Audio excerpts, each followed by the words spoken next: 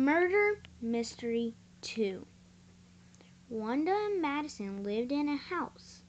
Wanda's friend Tevin was wondering if him and Bryce could visit.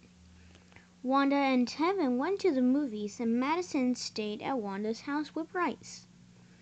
When Wanda and Tevin got back to the house, they found Bryce hovering over Madison's dead body.